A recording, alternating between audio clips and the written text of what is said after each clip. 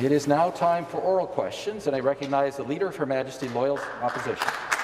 Thank you so much. Uh, thank you so much, Speaker. Speaker, my first question is to the Premier. Uh, we've, of course, been hearing reports that the mask mandates are ending soon. Many uh, experts are saying that's happening prematurely. And what is concerning is that the head of the science table says that we don't have the data to make that call. Uh, in fact, when asked directly if this was the time to do this, Dr. Jüni said, and I quote, no, it's too early. Of course, other experts have now subsequently weighed in and say things like this. Dr. Isaac Bogoch says, and I quote, I think it's reasonable to keep masks on for now and re-evaluate weekly. Dr. Kali Barrett, also on the science table, said, and I quote, this is a very bad decision. Ronald Cohn, head of Sick Kids Hospital, said, and I quote, let's not rush this right now. So if the province isn't listening to the head of its own science table, Speaker, who are they listening to for evidence that now is the time to stop wearing masks? And to reply on behalf of the government, Government House Leader. Obviously, Mr. Speaker, we've been listening uh, to uh, our healthcare officials throughout the pandemic. That is why Ontario has been leading North America in terms of its response to the pandemic, Mr. Speaker. I will note that the Leader of the Opposition is so busy flip-flopping every single week when it comes. One week they want more restrictions, the next week they want less restrictions, so whatever they think is the most popular thing to do at that time, this Leader of the Opposition will run to it, Mr. Speaker. But if you're going to be a responsible government, what you have to do is do what's in the best interest of the people of the province of Ontario, and that is what we have done every step of the way, Mr. Speaker, every step of the way.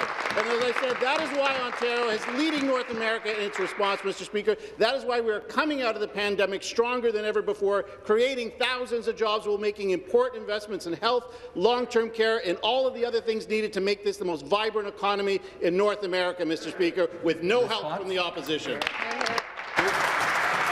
The supplementary question. Well, Speaker, um, unfortunately, I think that the government House Leader has it wrong. What the responsibility of uh, a, a, responsible government's actions during a global pandemic is to listen to the experts, to the scientists, to Order. those folks who have the data and information Order. about how to guide our, our safety going through such a situation. The Premier doesn't have the support of the leading experts, of his own leading expert from the science table. Dr. Jüni said it is too soon. He said he was surprised by this announcement. He said he was not consulted about this announcement, and, and he said, and I quote, it's not based on science. And that's troubling that's troubling for a lot of folks who are worried about what's, what might be coming next, question? especially the most vulnerable in our community. So the question is, if the decision to end the mask mandate wasn't based on science, clearly it wasn't, what was it based on? Thank you very much, Mr. Speaker. As we've done right through the pandemic, we've listened to the Chief Medical Officer of Health. We've listened to public health officers across the province of Ontario. I need not remind this House that it was the opposition that voted to actually Order. fire the Chief Medical Officer of Health, and we said no, Mr. Speaker. We said no. We value the advice of the Chief Medical Officer of Health. We value the advice of healthcare professionals, and that is why that is why Ontario has come through this pandemic stronger than ever before. That is why millions of Ontarians, leading the world, in fact, have been vaccinated in this province, Mr. Speaker. They said it couldn't be done. We did it, Mr. Speaker. They said we couldn't respond quickly to the pandemic. We did, Mr. Speaker. They said we wouldn't come out of the pandemic stronger than we went into it. We are, Mr. Speaker. Jobs are being created. Our health care is being rebuilt after 15 years of Liberal mismanagement, Mr. Speaker. We're building roads, transit, transportation. We're looking for thousands of people to work in the province of Ontario. No thanks to them, Mr. Speaker, but thanks to the people of the province of Ontario who have made this the best province to live, work, and, rest, and raise a family. Order. Final supplementary. Speaker, once again, the government House Leader is uh, not telling the whole story, let's put it that way. We certainly did support getting rid of the former Chief Medical Officer of Health, not the current one. Order. So this government needs to uh, stop. Stop. Stop. Stop.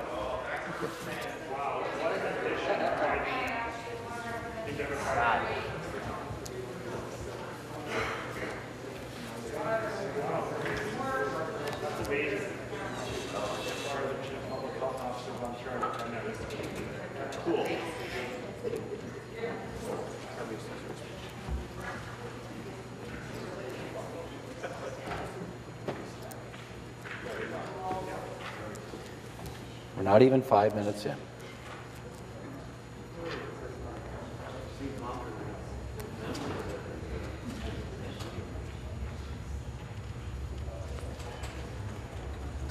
Please restart the clock. Leader of the Opposition.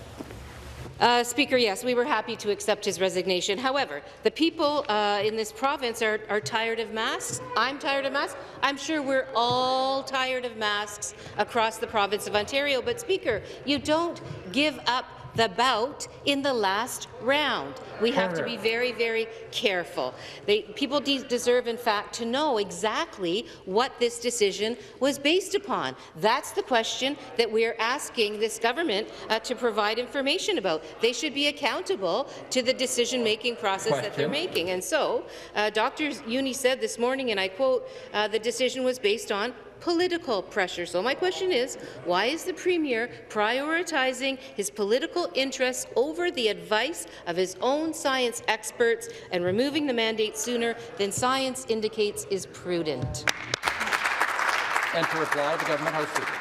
Uh, Thank you very much, Mr. Speaker. One thing we've seen over the pandemic is a lot of people have become expert in a lot of different things, usually the Twitter warriors. Now, of course, the Leader of the Opposition is the Chief Medical Officer of Health of the province of Ontario, Speaker. But let's look at what the, the, the Leader of the Opposition just admitted. She and her party did not support what the Chief Medical Officer of Health, the previous Chief Medical Officer of Health, was advising the government. His advice has led Ontario to being the best jurisdiction in North America when it comes to the pandemic, pandemic response. His advice led us to safer schools. His advice led us to getting more than 90 percent of the people of the province of Ontario vaccinated, Order. Mr. Speaker, something that they said could not be done. And what did the NDP want to do? Well, they didn't agree with him, so, well, let's fire him, because Dr. Horvath knows better than the Chief Medical Officer of Health.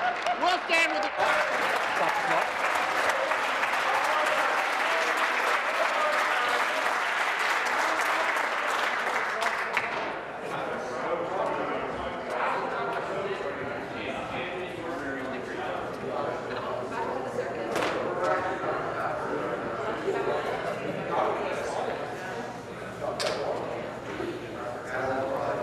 I guess I'll remind the members again that we refer to each other according to our riding name or our ministerial title as applicable,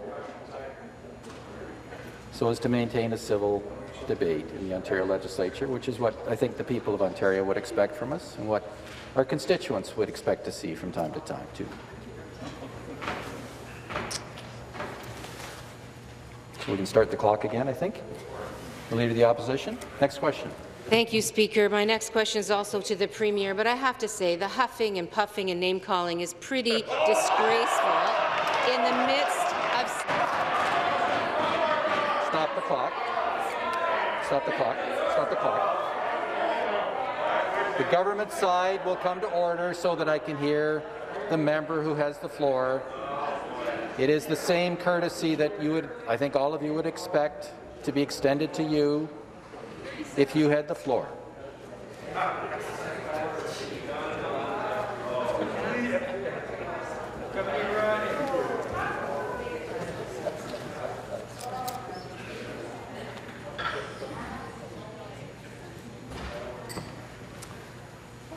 Let's try again. Restart the clock. Leader of the Opposition has the floor. Well, once again, I'm going to try to be serious here in this legislature, Speaker. I'd ask the government to do that as well. So my question is to the Premier, and this is about PSWs, who are the heroes of our pandemic, of the pandemic response, as we've all, I think, identified uh, many times. They've worked long hours, they've worked off their feet, they've ended up, in some cases, being ill, absolutely stressed out, in some cases traumatized. So it's long past time, Speaker, for those PSWs to get the permanent pandemic pay, uh, to get their pandemic bump in, in pay made permanent. So my question uh, is, uh, in, in regards to that, when talking about the most recent temporary pay bump that the PSWs were provided, Question? the Minister of Health said uh, that uh, the government would ensure that, quote, uh, we uh, or said that we attract and retain these essential healthcare workers with that kind of a pay bump. So it shouldn't be news to the government that we still need to retain and attract new PSWs uh, to the field. So when is the government going to make the pay bump permanent for PSWs? And to respond, the government House. Thank you, Mr. Speaker. Now, look, I've only been here since uh, 2018, uh, Speaker, and in the short time that I've been here, I knew right from the beginning that we had to make investments in long-term care. We had to make investments to support PSWs and health and human resources. Now, the Leader of the Opposition has been here a lot longer than me, held the balance of power, and never once made that a priority, Mr. Speaker. Now, when it comes to PSWs, we, of course, recognized how important they were to getting us through the global pandemic. Now, Mr. Speaker, they wanted to fire the Chief Medical Officer of Health, who helped give us the advice to ensure that our PSWs are recognized. But, Mr. Speaker, let's go a little step further. When it comes to supporting our PSWs, when it comes to supporting staff, in the Leader of the Opposition's own riding, we have authorized over $15,119,000 worth of additional funding for long-term care homes in her riding. You know how the Leader of the Opposition voted? Against it, Mr. Speaker. Against it, Mr. Speaker. Because we're on the way to four hours Response? of of long-term care. We're on the way to rebuilding health care. We're on the way to hiring thousands of more nurses, thousands of more PSWs. They are the backbone, and finally they have a government that respects them for what they are, frontline heroes, Mr. Speaker. Supplementary question. Well, sadly, quite the opposite, Speaker. Look, the Premier did promise, he promised permanent pay increases for PSW, permanent pandemic pay. Uh, he made workers wait and wait and wait. Obviously, he kept promising that it was going to be permanent. To this day, we don't have it. He promised 523 days ago that the pay would be permanent for PSWs, the pay bump. So let me quote what he said. He said, it's a guarantee. We're going to do it. There goes the Premier again with his guarantees. So why hasn't the Premier fulfilled his so-called guarantee and make sure that the pay bump for PSWs is made permanent in our province? Government House Leader. Uh, Mr. Speaker, there's the difference between the NDP, the Liberals, and a progressive Conservative government, Mr. Speaker. We start right from the beginning honouring those very same people who've made such a difference to the pandemic, Mr. Speaker. We gave them, acknowledged in the question, as a matter of fact, that it was this government that immediately took steps to ensure that our PSWs were given uh, an additional compensation for the great work that they're doing, Mr. Speaker. Order. This government did it. Was it the NDP who supported the Liberals over 15 years, colleagues? No, it wasn't. Was it a goal of the NDP when they held the balance of power and could have ended the misery that was the Liberal government? No, Mr. Speaker. They settled for a stretch goal in auto insurance, but ultimately it was up to a Conservative government to fix that as well, Speaker, because we're seeing uh, insurance rates come down. But ultimately, Mr. Speaker, we're solving the problem. We're giving more money to our PSWs. We're hiring thousands of them. Response? And we're giving them new hospitals, long-term care homes, and health care facilities that they can be proud to work in and give the best quality of care for the people of the province of Ontario. Game-changing, Mr. Speaker, not something they ever considered once. Final supplementary. After, all of that, the promise uh, still remains. The, the Premier promised 523 days ago that he would make PSW pandemic pay permanent, and it hasn't happened. In fact, on, uh, on Monday, the Premier threw another gimmick out the door, uh, which is that he said that healthcare workers would get $5,000 retention bonuses with strings attached, and it was panned by nurses, and it also demoralized all the PSWs and other frontline healthcare workers who were excluded from that announcement. They all want the same thing, though, Speaker. What they all want is for this government to scrap Bill 124 and bring a permanent, decent pay rate to their work. The government can fix the problem. They can fix the problem once and for all, do the right thing by nurses and all frontline healthcare workers. So instead of more election gimmicks from the Premier, when is he going to get this done? When is he going to get Question? serious and rip up Bill 124 uh, and make sure that PSW pandemic pay is permanent? Government House Leader. Mr. Speaker, we have what? Uh, six weeks, I guess, to an election, and all of a sudden the leader of the opposition has come to the realization that investing in healthcare is important, that uh, dealing with the health and human resources deficiency that was inherited by this government is important. All of a sudden, it's important to pay our frontline heroes the amount that they deserve, Mr. Speaker, something that this government has already done, yet she voted against $15 million in additional Order. funding for long-term care homes in her own riding, Mr. Speaker. In her own riding, Mr. Speaker. What we're doing is not listening to the opposition. We're moving right away. The minute we got elected, we knew that we had to do something about health care in this province. That's why we started building long-term care homes. That's why we Order. moved to Ontario health teams. That's why we're building a Order. hospital in Brampton. That's why we're building a new hospital in Niagara, Mr. Speaker. We're making an important announcement today on health care. Mr. Speaker, when it comes to rebuilding health care, we're doing it because we understand it's important not only for the people of the province of Ontario, it is an economic driver that makes the difference when this Minister of Job Creation goes out there and says, invest in Ontario, they ask about it, we get it done. Order. Official opposition will come to order. The next question, the member for Scarborough Southwest. Thank you, Speaker. Speaker, my question is to the Premier. Betty, a constituent in my riding, recently wrote to me about her experience as a patient being transferred from a Scarborough hospital to palliative care after having a major life-saving brain surgery. As she was being transferred, she requested support and care to ensure that she can remain safe after the surgery. Yet she received inadequate support and was transferred with no assistance. This is what Betty wrote, Speaker. What is wrong with this picture? A senior undergoing life-saving brain surgery and being, and, and being manhandled during transfer due to lack of support. She then goes on to say, it's time our government started giving the seniors that built this country, province and city the total respect they deserve, end quote.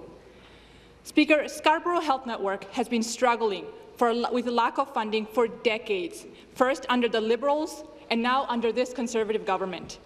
And they're still waiting. Scarborough Health Network's recent Love Scarborough campaign highlights many instances like what Betty described and calls on our government to finally give Scarborough the investment that they need. So my question is, Speaker, when will the seniors and the people of Scarborough get their fair share of funding for our healthcare system?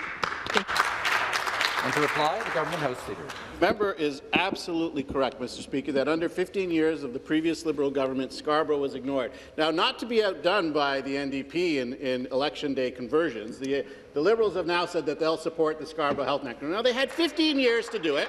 They had 15 years to do it, and they did nothing. I, am glad that the member for Scarborough Guildwood is, is clapping, because she's clapping for 15 years of failure under her government to actually do something about it. So congratulations to you. Mr. Speaker, the reality is that we're getting the job done. We're building thousands of beds. Just this morning, I announced 1,920 new long-term care beds across Toronto, Mr. Speaker, including, including in Scarborough at the Seven Oaks Centre, where we'll have a brand new bed. You're oh. welcome. Of course, we're getting that done for the people of Scarborough. I know the member for Scarborough Agincourt worked so hard to ensure that his hospital got went down the road for a brand new emergency room. The Liberals could have done it. They didn't. That member got it done for his community. So congratulations to him. Stop the clock.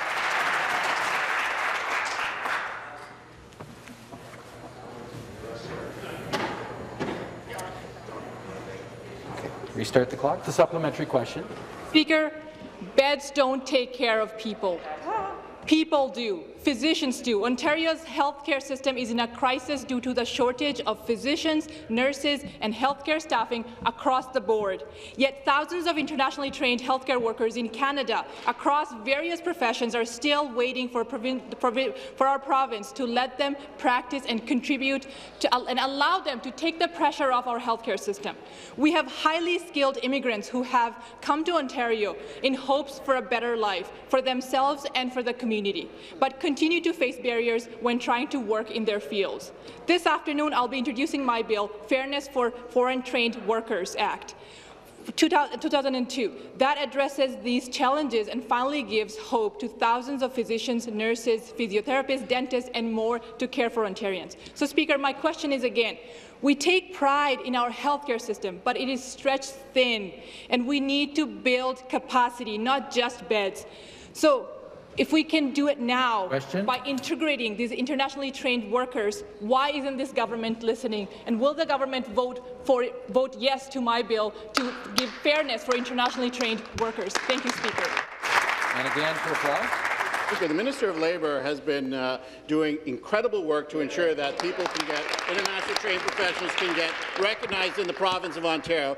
Here's a, a little nugget for you. If I could look into the future, I'm going to bet that they're going to vote against all of the measures that, you bringing, that you're bringing in, Mr. Speaker, to do that. But look at the member's own writing, Mr. Speaker. She talks about you can build you can build as many hospitals and beds as you want, but unless you have the people to actually work in it, unless you have the funding, what's the point of doing it? So I was proud, Mr. Speaker, when this government, these members fought really hard to ensure that that member's writing in Scarborough Southwest for her long-term care homes got an additional 30 million in funding for staffing and support, Mr. Speaker, so that we could get to four hours of care, Speaker, so that we could get to the four hours of care that wasn't done under the Liberals, was not prioritized under the NDP when they held the balance of power, something they like to forget about, Mr. Speaker, but was done by this government and this caucus, Speaker. Response? We respect our health care workers. We respect our PSWs. That's why we're supporting them. That's why we're giving more funding to build the best possible health and long-term care system in the world, Mr. Speaker, in the world.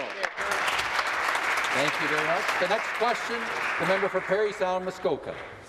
Thank you, uh, Mr. Speaker. My question is for the Minister of Northern Development, Mines, Natural Resources and Forestry.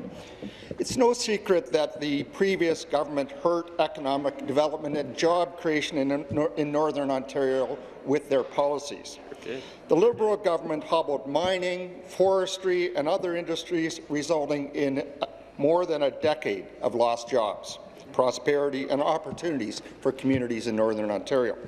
Speaker, can the minister tell us what our government is doing to support our mining industry and grow prosperity in Northern Great Ontario? question. The Minister of Northern Development, Mines, Natural Resources and Forestry. Well, thank you, Mr. Speaker. I want to thank the minister, from, uh, member from uh, Parry Sound, Muskoka, for his important work that he's done over the past couple of decades. His friendship and the work that he's done for Northern Ontario, it's appreciated. Mr. Speaker, Harte Gold Sugar Zone, 150 jobs. Newmont Corporation's Borden Mine, 800 jobs. Evolution Mining's Koshner Mine, 750 jobs. Pure Gold Mining's Red Lake operation, 750 jobs. IAMGOLD's Cote Gold Project, 450 jobs. Argonaut Gold's Magino project, 350 jobs. The Greenstone Mining project and the Springpole pro Gold project on the horizon, Mr. Speaker. They have a couple of important features. First, they've put positive pressure on this government to put additional resources into enhancing those municipalities and those Indigenous communities, Mr. Speaker, so they're well positioned to experience growth and economic prosperity. And some bad news, Mr. Speaker. Response? Every time we ask for additional economic resources and or regulatory changes, the NDP voted against them. They said no to growth and prosperity in the North. The No Democratic Party has no standing up north, Mr. Speaker. We're ready. Supplementary question. Thank you, Mr. Speaker. Clearly, the achievements mentioned by the minister mark a dramatic turnaround for the mining sector and demonstrate this government's commitment to policies that have helped this sector succeed. Mr. Speaker, we also know that these resource development projects create incredible opportunities for Indigenous communities and other communities across the North. While the previous government spoke about a commitment to Northern Ontario, they refused to address the need for meaningful economic development. Speaker, can the minister tell us how this government is getting projects done for Indigenous communities so they can benefit from job creation in the North? Minister. Thank, thank you, Mr. Speaker. Uh, yesterday was International Women's Day, and I didn't get a chance to mention some important Indigenous women leaders, but Judy Desmoulin, Sherry Taylor, Dorothy Toledo, and Teresa Nelson, one of my favorites, Mr. Speaker. Uh, all women of extraordinary ca uh, capabilities, Mr. Speaker, leaders, chiefs of their communities, Mr. Speaker. Over late fall and winter, we had an opportunity to bring forward two important projects. E Equinox Gold's Greenstone Gold Project, under their leadership, important business, employment, and environmental opportunities for their communities, and the Kenogami Sustainable Forest License, Mr. Speaker, uh, set down so that those communities and those women can continue to lead in central Northern Ontario. There are so many good things going on in Northern Ontario, and Indigenous communities are becoming an essential part of those environmental, business, Mr. Speaker, Response? and economic opportunities. We're proud to support them and those Indigenous women leaders. Thank you, Mr. Speaker. Member statements. The member for Kiiwetinoong. Uh, Miigwech Speaker uh, Minigajaba, good morning. Speaker, uh, this, uh, this week we learned that uh, Thunder Bay Police Service failed to properly investigate the deaths of 15 Indigenous peoples. The Globe and Mail reports that the provincially appointed panel is recommending an external review of an additional 25 unsolved cases of missing and murdered Indigenous women and girls. Speaker, uh, if these were your family members dying without proper investigation, this situation would be intolerable. Will the Premier please explain why this government is failing to act when the Thunder Bay Police Service is treating Indigenous peoples as less than and unworthy of proper police investigations? Thank you. The Solicitor General. Thank you, Speaker. I couldn't agree more with the member opposite. I am deeply concerned, as are all of us, I'm sure, to hear about the um, reports we have been following and will respect the chief coroner and the chief pathology. Uh, they have, of course, um, sent a report to um, the attorney general, uh, who is reviewing that right now. But it is absolutely imperative that any investigations that were not done completely and thoroughly need to happen immediately so that those families understand exactly what happened and loved ones can have an appreciation that the system is working for them, not against them. Thank you. Thank you. And supplementary question. I know this much. Racism kills. As Indigenous people, we live it, and we die from it. Speaker, uh, the Office of the Independent Police Review Director found systemic racism in the Thunder Bay Police Service and made 44 recommendations for change. Former uh, Senator Murray Sinclair's investigation found systemic racism in the Thunder Bay Police Service Board and ordered it dissolved. Senator um, Sinclair laid out a path forward for change, and that path has been ignored. So today, I am asking, will this government order a commission of inquiry and direct OPP oversight of the Thunder Bay Police Department until the inquiry is complete? And to respond again, Solicitor General. Thank you, Speaker. So, in the province of Ontario, of course, we have the um, Independent Police Commission. Um, I have sent a letter to that public commission asking for them to thoroughly investigate the um, Thunder Bay Police and the Police Services Board. Uh, we have made changes with the Police Services Board members, including to ensure that there is representation from a, uh large swath of Thunder Bay population. Um, we will continue that work. The independent OCPC will continue that work, but I have, you have my assurance as a government that we want to get this right in Thunder Bay, and we will make sure that what needs to happen continues to happen independently. Thank you. Next question, member for Scarborough-Guildwood. Thank you, Speaker. To the Premier. I've sent letters to this government and stood in this House on many occasions urging action to end gun violence and to support Bill 129 initially and now Bill 60, my private member's bill, the Safe and Healthy Communities Act addressing gun violence. Two days ago, the Toronto Star endorsed my bill, stating that gun violence isn't just a legal issue, it is also a matter of public health. The editorial goes on to quote Toronto Medical Officer of Health, Dr. Eileen de Villa, on how the community effects of gun violence has not only physical effects, but also mental. These effects can be long-lasting, including multi-generational and cyclical. Speaker, Scarborough is facing the pain of gun violence today. From February's shooting of an 18-year-old grade 12 student inside a school. They need our help now. Will this government help Scarborough Question. and pass Bill 60? The Associate Minister of Mental Health and Addictions. Speaker. Mr. Speaker, through the Roadmap to Wellness, we've allocated an increase of more than a half a billion dollars in annualized funding for mental health and addiction support since 2019. This includes funding specifically to expand culturally sensitive services in communities across the province. I was proud, as I've once said before, to visit TAIBU Community Health Centre in Scarborough to announce a $2.9 million new investment in annual funding to immediately expand and enhance the substance abuse program for African and Caribbean Canadian youth.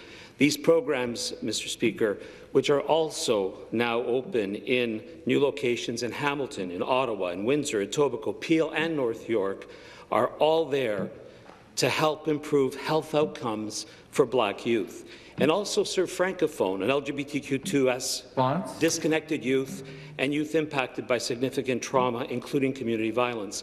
Mr. Speaker, our government is interested and committed to supporting all Ontarians on their journey to wellness and providing the supports they need to do so.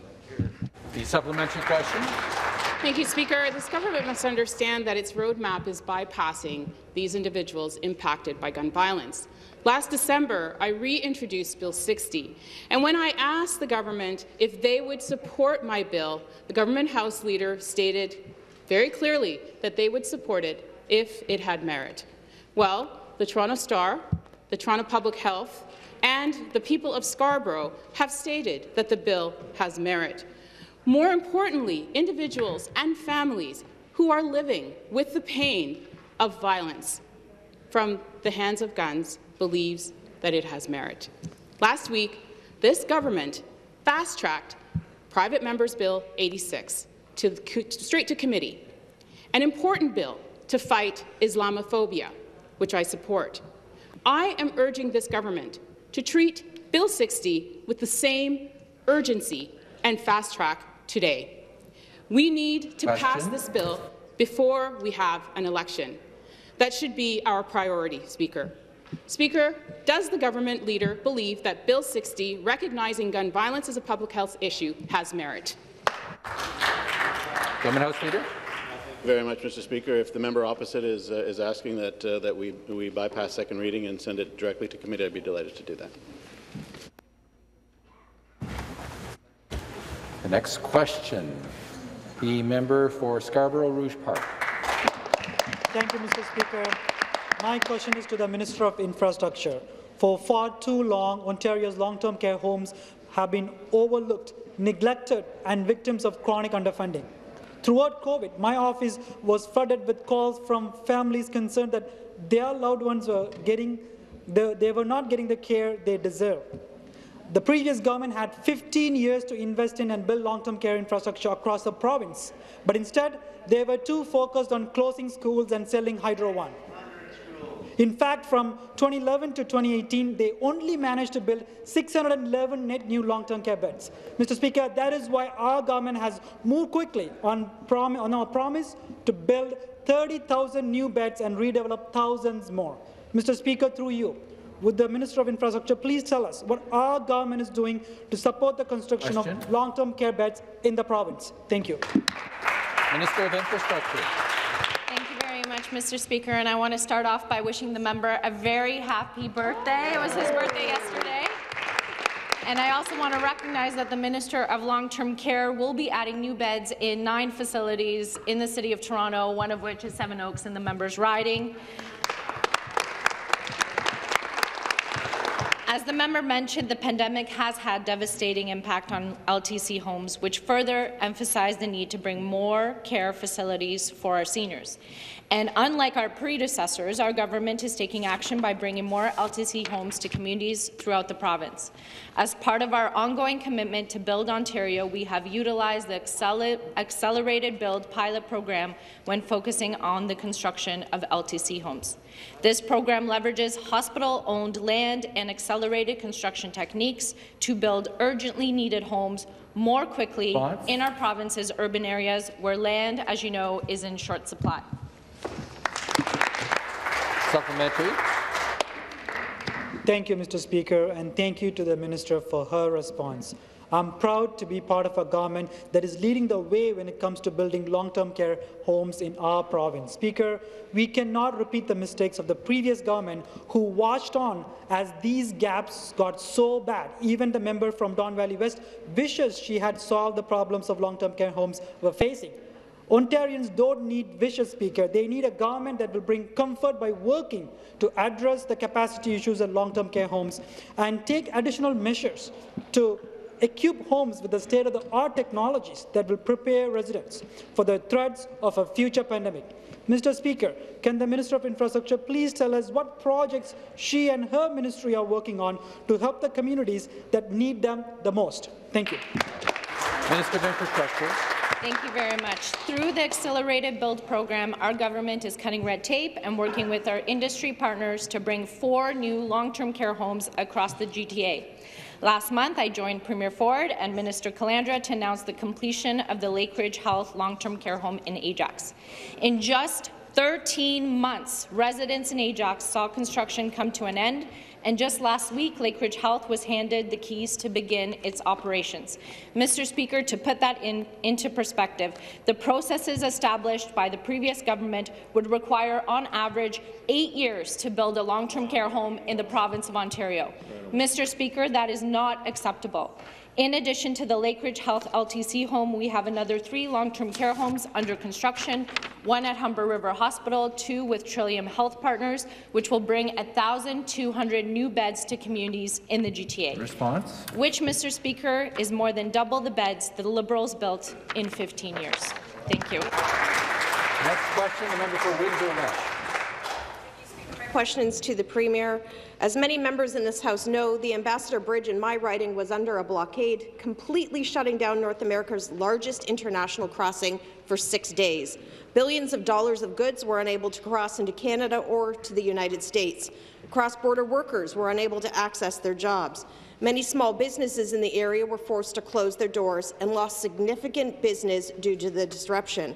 Speaker, last week this government announced 11.5 million for local businesses in Ottawa impacted by the convoy protests, and I want to thank my colleague from Ottawa Centre who stood up, spoke out, and hit the streets to help those local businesses and the people there while the Conservative members from the Ottawa area went into hiding. But my question is this, Speaker. When will this government step up for the people of Windsor-Essex and provide dedicated funding to help business recover the financial loss that was caused by the blockade? And to reply, the Minister of Heritage, Sport, Tourism and Culture Industry. I want to thank the member opposite for her question. I really resent the notion after spending four weeks under occupation where even personal members of my own family had to deal with that occupation, uh, friends who own businesses had to deal with that occupation, and the fact that myself and my colleague, the minister responsible for uh, Children and Community and Social Services, spent every single day on the phone working with our city officials, our tourism partners, and all of those businesses, which is why after four long weeks where our, our city was shut down, this government invested $10 million into Invest Ottawa to get to small businesses and an additional $1.5 million to Ottawa tourism to restore the reputational damage that had occurred during that occupation in order for us to make sure that not only Ottawa, but all of Ontario is on the map again for the visitor economy that is starting to grow Response. back. But I got to tell you, what an insulting question to suggest that my colleagues and I were not present, because I can tell you something, each and every day we work with Mayor Watson, we work with the up. Thank you. Thank you. The member will take her seat, please. Supplement. Stop the clock.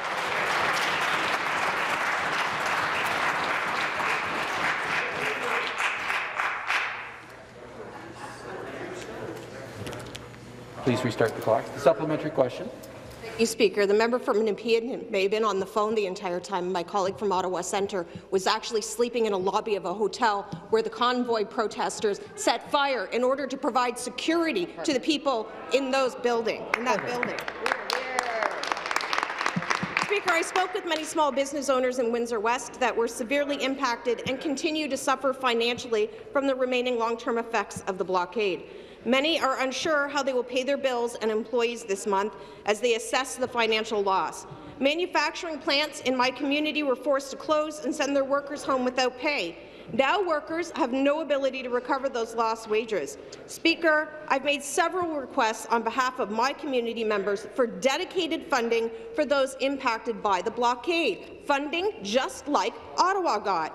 Members of my community deserve a government that will support them during difficult times. So my question is, why won't this government commit to providing dedicated funding for small businesses and workers in my community, in Windsor, Essex, to help them Question. recover from the blockade? And I'd like an answer rather than the minister standing there patting herself on the back. The response, Minister of I want to correct the member's uh, belief of what she thinks she's talking about. The reality is there was a four-week occupation that shut down the city centre of our nation's capital. We followed the lead of the federal government, Order. investing additional $10 million Order. to invest Ottawa and an additional 1.5 million. And I'll say this as well. I attended meetings with the member from Ottawa Vanier with businesses in her community, and we showed up, but you know who didn't? The Ottawa Centre MPP. He wasn't there to talk to the businesses. He was rather consumed by trying to get in headlines himself. But if the member opposite wants to talk, let me assure her this. I spoke last week to the Windsor Essex Pelee Island tourism entity, and I have flowed $400,000 in order to deal with the reputational damage that the City of Windsor had as a result of the two-week blockade, for Windsor not West, the entire to order. shutdown of a city, the nation's capital, Fun. of which you should be standing up for and saying they should have their reputational damage restored so we can bring business back to the City of Ottawa and protect the democracy. Stop the clock.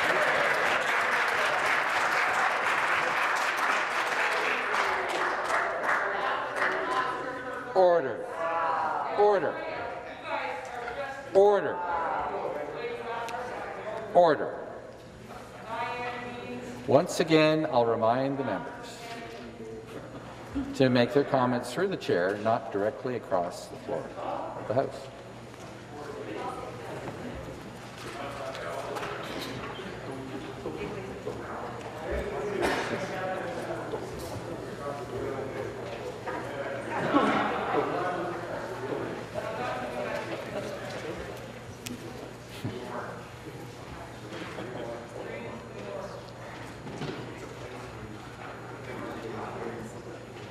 I'd like to continue question period if that might be possible, if it's not too inconvenient for people.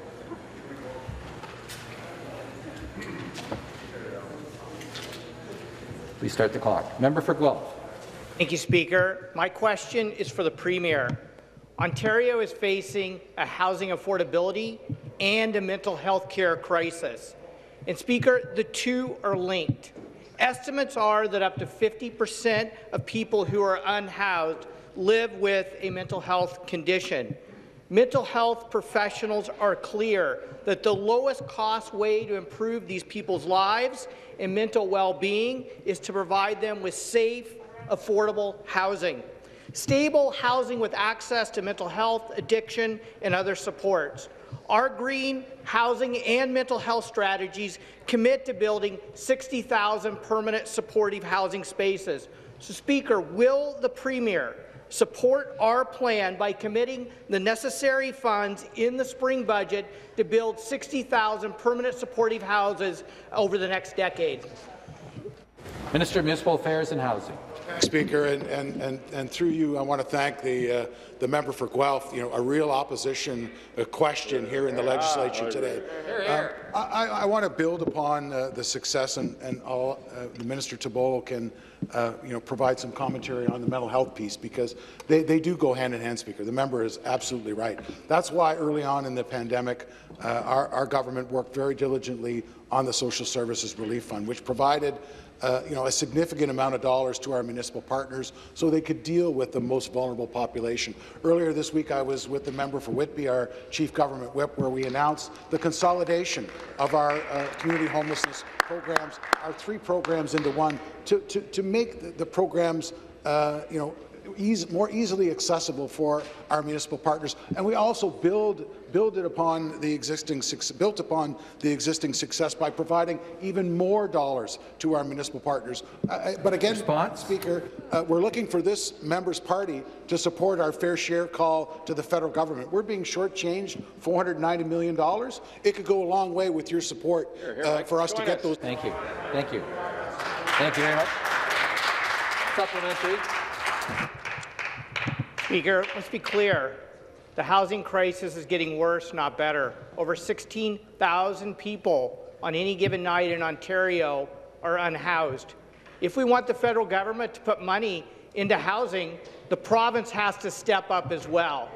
And that's exactly why I'm asking this government to put money on the table in the spring budget. And let's be clear, Speaker, an investment in housing is the most fiscally responsible approach to addressing this crisis. For every $10 spent on housing, it saves government $21.72 in social justice, uh, health care, and other costs. But more importantly, Speaker, the improvements it makes to people's quality of life and their mental well-being is priceless. So we know, we know that the solution is permanent supportive housing. So I will ask the Premier, the Finance Minister, the Treasury Board President, will you commit to funding 60,000 permanent supportive housing spaces in the spring budget? The Associate Minister of Mental Health and Addictions. Thank you, Mr. Speaker, and thank you for that question. As has been pointed out, housing is an important part of the continuum of care, but there has to be a continuum of care. And one of the things our government has done from day one is build a roadmap to wellness to address the very issues of everything from withdrawal management to treatment to supportive housing and all other forms of housing necessary in order to help an individual because the underlying issues, the social determinants of health, must be addressed. And Mr. Speaker, since 2019, we've invested over a half a billion dollars in new mental health and addiction supports. Mr. Speaker, this is truly an historic investment on behalf of this government and on behalf of the province of Ontario. The investments that we've made are part of that $3.8 billion commitment that was made from the very beginning and will continue to make investments to ensure that that continuum of care is dealt with. But rest assured, until we have that continuum of care, we need to invest and ensure that people everywhere in the province are getting the help they need and deserve. And Thank you. Thank you very much. The next question, the member for Perth Wellington. Thank you, Speaker. Speaker, it is no secret that the Highway 6 corridor is one of the busiest two-lane highways in the entire province. It has an average daily traffic volume of 23 to 26,000 vehicles per day, and this number keeps climbing. Speaker, for 15 years, constituents in my riding of Perth Wellington and surrounding communities called on the Liberals to build the Morriston Bypass. This is a project that would cut through gridlock, reduce travel times for drivers, and improve safety. But the Liberals said no. So this is addressed to the Minister of Transportation. So can the Minister please tell us what this government is doing to advance this important project? Minister of Transportation. Thank you, Speaker, and thank you to the member from Perth Wellington for the great question. Speaker, we all know that the Morriston bypass will be a game changer for residents. While the Liberals had 15 years to advance this important project, they did not. They just let it sit on the back burner like they do with so many critical infrastructure projects if they don't just cancel them altogether. Mr. Speaker, our government is doing things differently. We are saying yes to critical infrastructure projects, so the residents of Halton Region and beyond will be very happy to hear that our government is driving this project forward, and we are making important steps turn this project into a reality. Phase 1, Speaker, of the Highway 6, of the Highway 6 and Morriston Bypass project was completed in 2020. And last month, we took another step forward with the contract award for the design and the construction of the next phase of this work. Speaker, we have made Response? more progress on the Morriston bypass in the last four years than the Liberals did in 15, and we are committed to seeing this project through many more project milestones until we get the job. Thank you. Supplementary. Well, thank you, Minister, for that answer. Uh, Speaker, traffic volumes along uh, Highway 6 corridor through Morriston has, have been at capacity for over a decade. Instead of taking action, the Liberals ignored the problem and said no to investing in critical infrastructure. Speaker, if we took the advice of members on that side of the House, drivers across the province would be stuck in gridlock forever. Can the Minister of Transportation please share with us how the Morriston bypass will help address our gridlock problem? Minister of Transportation. Thank you again to the member for the question. Speaker, with the population of the Greater Golden Horseshoe poised to grow rapidly, the number of people who rely on vehicles to get from point A to point B will also inevitably grow. The increasing demand for highway infrastructure means that we need to get building. The Morriston bypass will make it easier for drivers to travel between Hamilton and Guelph. It will also reduce on, gridlock on local roads, especially in the communities of Morriston and Aberfoyle. Speaker, without strong action now, gridlock on Highway 6 will only get worse. It could only well, it could also worsen traffic on the, on the neighbouring Highway 401, which is already, as we know, the most congested highway in North America. Speaker, under the leadership of Premier Ford, our government is saying yes to building the Morriston Bypass and other key highway projects to reduce gridlock in every corner of our province, and I could not be more proud. The next question, the member for Parkdale High Park. Thank you, Speaker. My questions to the Premier. Today, we learned that a month after the Premier's promise that a deal on childcare was coming very, very soon, the Conservatives have finally gotten around to sending in some of the detailed numbers to the federal government that they have been asking for. That's three months after the last province signed their deal.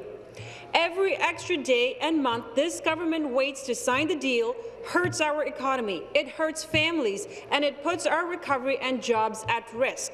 So my question is simple. When the stakes are this high, what's taking you so long? Minister of Education. Well, thank you very much, Mr. Speaker. What the Premier and our government is doing is standing up for Ontario taxpayers to ensure that we get to $10 a day.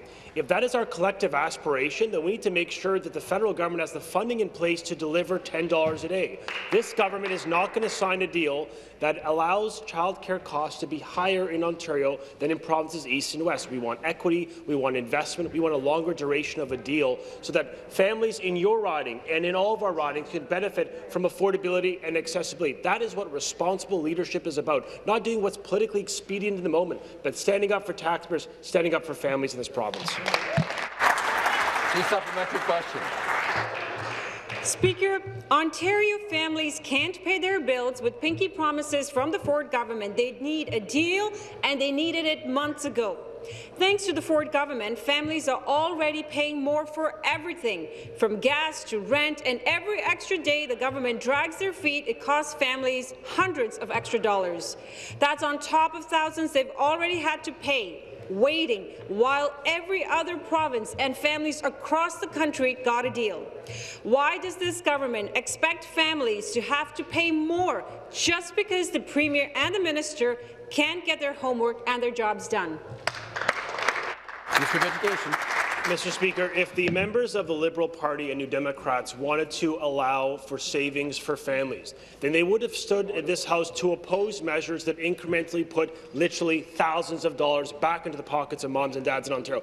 If the New Democrats and Liberals cared about the financial interests of families and the rising cost of affordability and inflation in this province and country, then they would have supported the Ontario Child Care Tax Credit, which puts $1,250 in the pockets of a, of a child.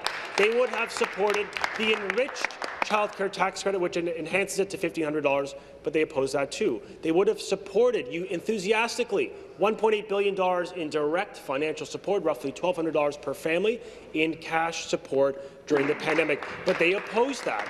And I think there's an inconsistency in their logic. We're ensuring accessibility and affordability through provincial actions. We're insisting that the federal government steps up from the 2.5% they contribute to provincial childcare. And we're going to do so in a constructive manner with the federal government so we deliver affordability, $10 a day for all families in this province. Thank you. The next question, the member for Glengarry, Prescott Russell. Merci, Monsieur le Président. Monsieur le Président. Thank you, Mr. Speaker. It's really fun to change the rules as we want, especially when they, we don't want them to apply to us that set penalties for the Premier and the Finance Minister if a budget was not delivered on time. They would have to pay 10 per cent of their salaries into the Consolidated Revenue Fund. The Finance Minister then said in the legislature that it would stop March Madness, which he characterized as the annual habit of year-end spending sprees. He proudly declared it's gone. But now they're changing the rules as they go to suit them. That accountability guarantee that the former finance minister touted, that's what's gone, Mr. Speaker. And this is the second time they missed the deadline. Why did this government change their own accountability rules to save the Premier and the minister $15,000 for not doing the job that they were so confident they could do? To reply, the government House Leader. Uh, thank you very much, Mr. Speaker. Mr. Speaker, as you know, uh, uh, the budget was uh, uh, was being delayed this year so that we could uh, properly evaluate uh, the, uh, as we come out of COVID uh, restrictions, we could properly evaluate, work with our partners to ensure that what we presented to people as we head into an election was accurate, uh, the accurate picture of where the province was, Mr. Speaker. Having said that, Mr. Speaker, I will remind the member that she and her party actually voted in favour of, of, of that motion that was brought to the House just last week. Supplementary question.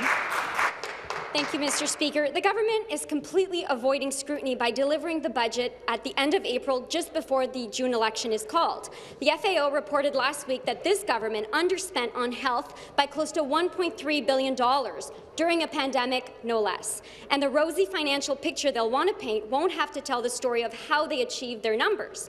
Le Premier ministre aime dire aux Ontariens que le pire endroit... The Prime Minister has said to the population the Premier keeps telling Ontarians that the worst place to give their money is government. He is something that is false. Talking about his own government. Mr. Speaker, why is this government delivering the budget at the end of April instead of in March? Election time shenanigans? The member for Aurora, Oak Ridges, Richmond Hill. Thank you very much.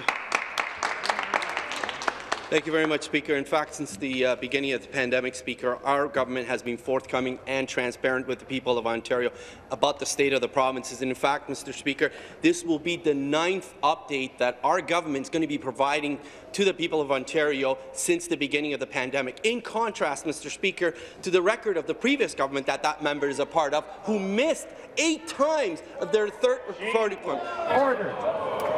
Mr. Speaker, Ontarians deserve a credible plan for a recovery that's based on fiscal planning and most recent information available, some alluded by the government House Leader. Mr. Speaker, all along that we've said we will look at what is best for Ontarians. We will make sure that every single decision that we make benefits Ontarians, makes life more affordable for Ontarians, Response? exact opposite as the previous government did for Ontarians, supported by the NDP, Mr. Speaker.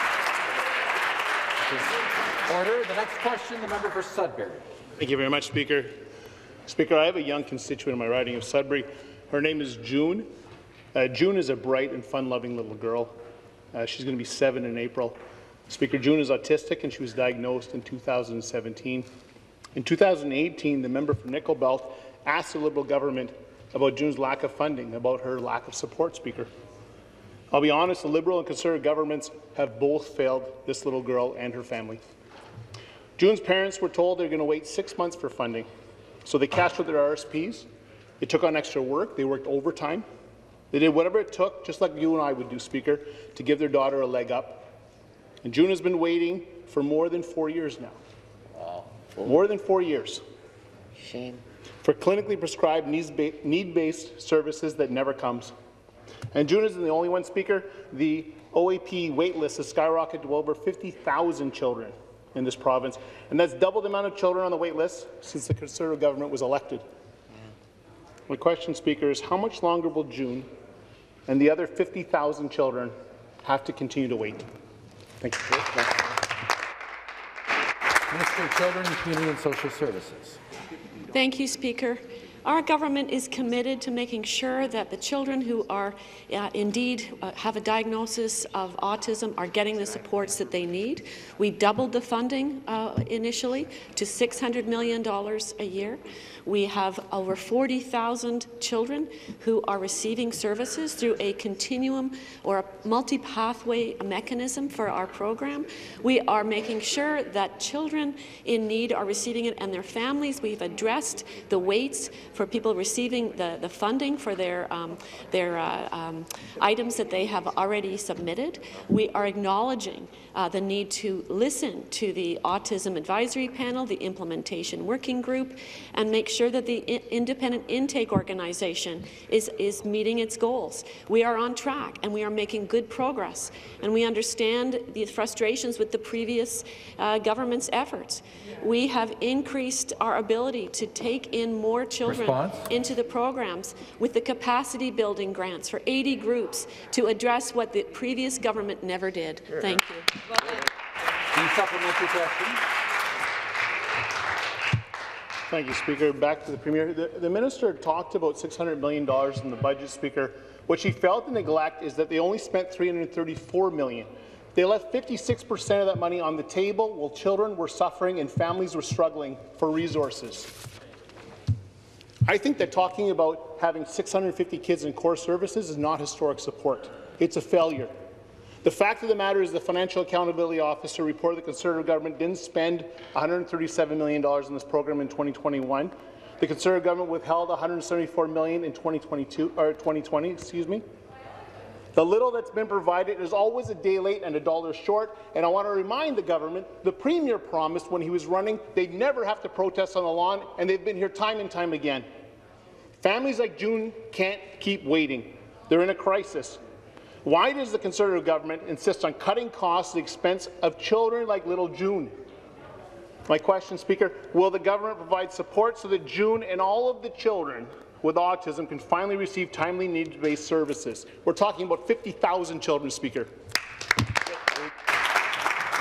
Mr. Children, Community Social Mr. Speaker, our, our program has been developed by the autism community for the autism community. It is a needs-based, comprehensive program, and in fact, we have almost five times as many children receiving support as the previous government.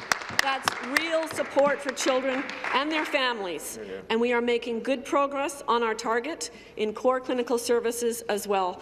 The reality is that the FAO report is a snapshot in time, and we are projecting increased spending in the last quarter of 2021-22 in this program, and we fully anticipate meeting that target of $600 million in investments uh, for these children and their families Order. who are so deserving. Thank you. The next question, the member for Durham. Good morning, Speaker. My question is for the Minister of Transportation. Speaker, the last time I rose to make a statement in the House about the GO train to Bowmanville was February 20th, 2020, when I don't think any of us in this House realized what we were about to face. As the pandemic hopefully moves towards an endemic state and restrictions are removed, more workers are returning to office buildings in the city. As commuting patterns resume, more people will be wondering about the status of the GO train to Bowmanville. Can the minister please provide an update to my community? Transportation. Speaker, and I want to thank the member opposite for her question. Um, I know that extending GO Rail services to Bowmanville will be a game changer for the, for the residents of her community as well as for all of the residents of, of, the, of, the, of Durham region.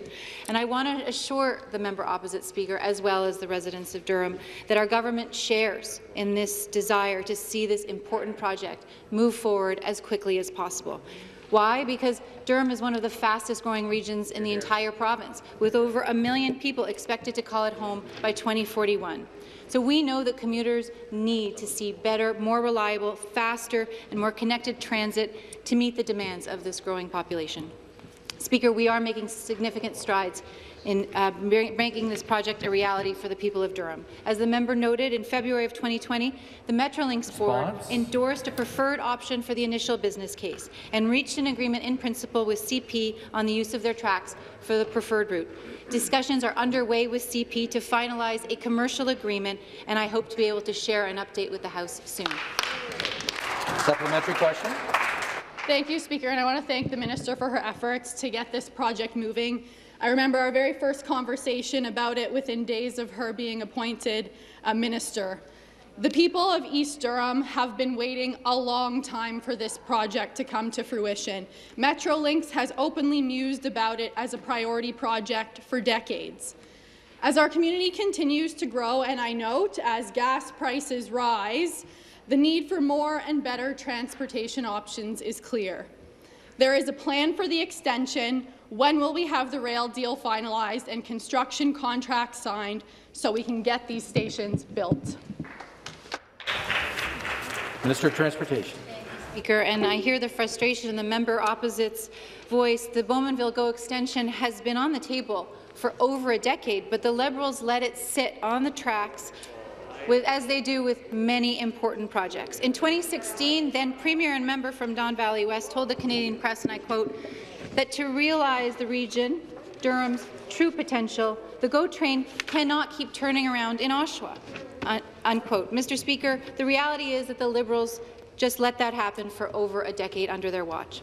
Well, under the leadership of Premier Ford, I am pleased that a memorandum of understanding between Metrolinx and the region has been formalized, and this just reaffirms our shared commitment to advance the delivery of this project. Metrolinx also recently completed geotechnical work in the CP-owned corridor, which is a critical preliminary step to getting shovels in the ground to seeing this project uh, uh, turn into a reality as soon as possible. As soon as possible, Speaker, we're saying yes to delivering more rail service to communities beyond Oshawa, and I look forward to sharing another exciting milestone on this work in the coming weeks. Thank you. That concludes our question period for this morning. The member for Windsor West has a point of order.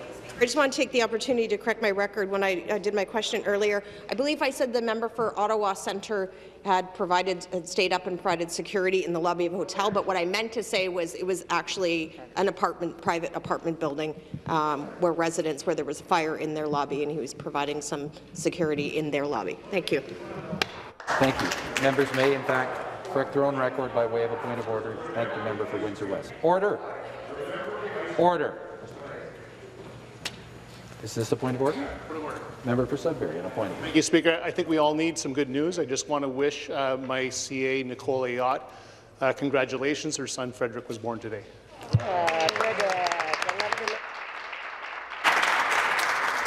Thank you very much.